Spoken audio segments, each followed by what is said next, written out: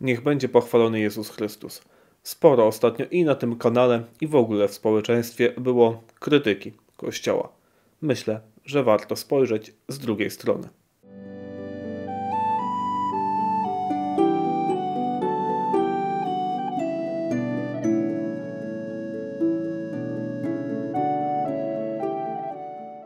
W credo wyznajemy, że wierzymy w jeden święty, powszechny i apostolski Kościół.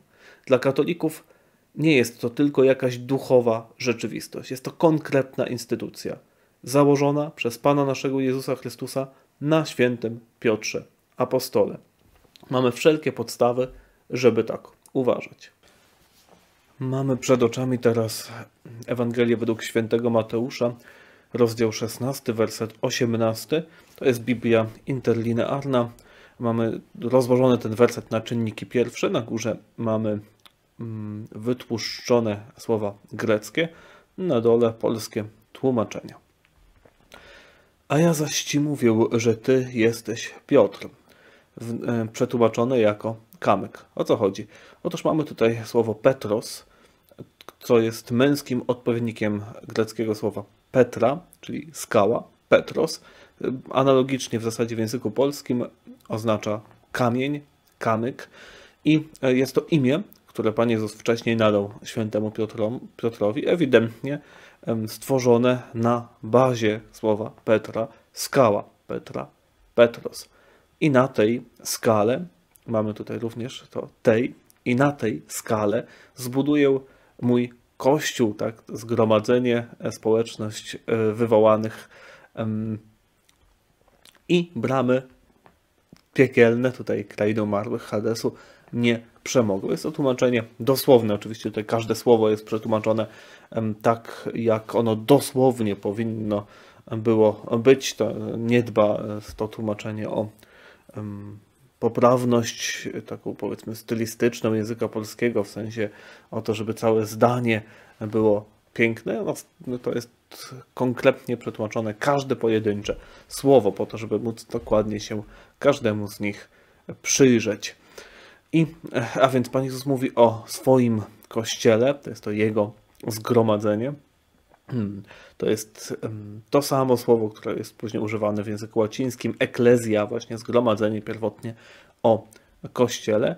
To jest Jego, to jest Pana Jezusa. Kościół, moje zgromadzenie, jedno zgromadzenie, jeden Kościół, zbudowany na tej skale, ty jesteś Petros i na tej Petra zbuduję moje zgromadzenie wiernych.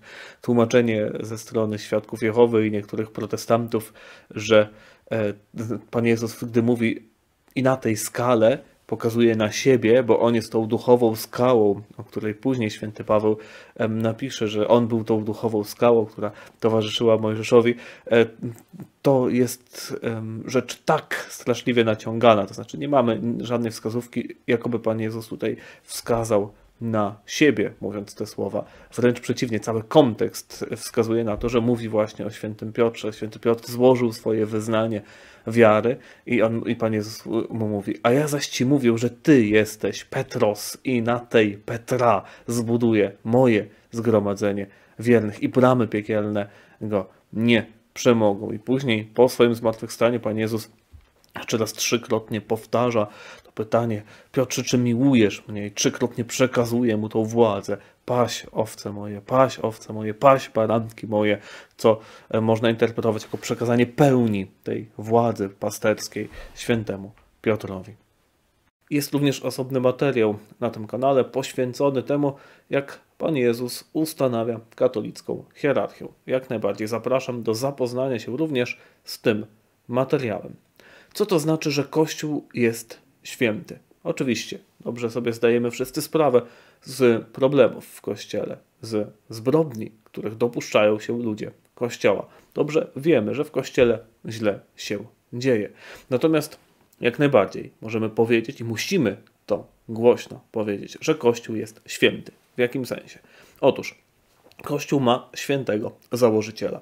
Założycielem Kościoła katolickiego jest Pan nasz Jezus Chrystus. To on ustanawia pierwszą hierarchię. To on ustanawia świętego Piotra jako księcia apostołów. To on przekazuje mu później władzę po swoim zmartwychwstaniu, trzykrotnie powtarzając paś owce moje, paś owce moje, paś baranki moje.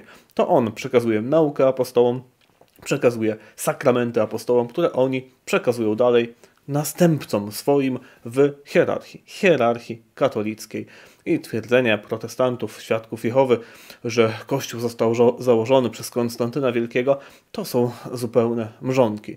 Ci sami ludzie, którzy mm, później za czasów Konstantyna Wielkiego byli hierarchią katolicką, za jeszcze 20 lat wcześniej byli prześladowani, byli tym kościołem pierwotnym i byli prześladowani przez Imperium Rzymskie. To są ci sami ludzie. Kościół pierwotny wychodzi z katakumb, zostaje przez Konstantyna Wielkiego zaakceptowany. To są ci sami ludzie.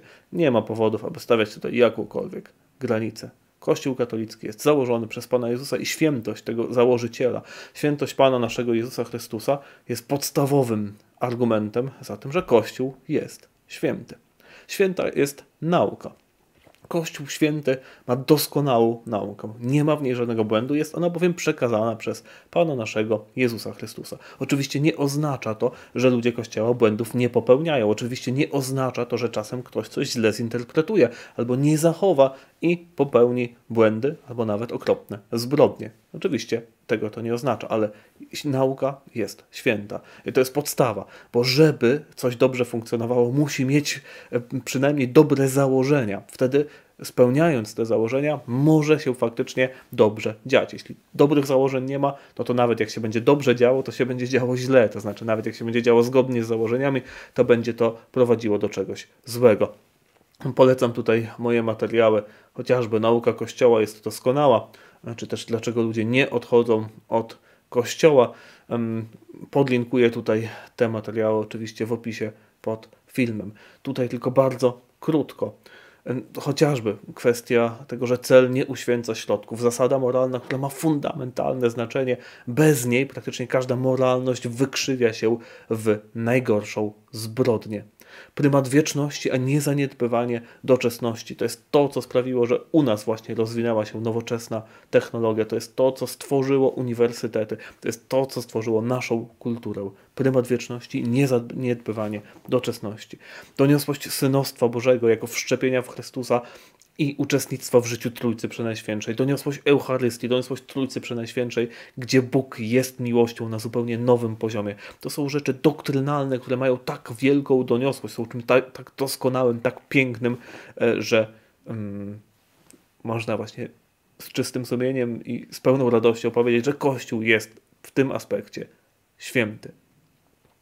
Święte środki. To jest trzecia rzecz. Kościół posiada świętego założyciela, świętość nauki i święte środki. Otóż Kościół Święty nie posiada jako swojego środka rozszerzania em, wiary świętej wojny. To byłby nie święty środek.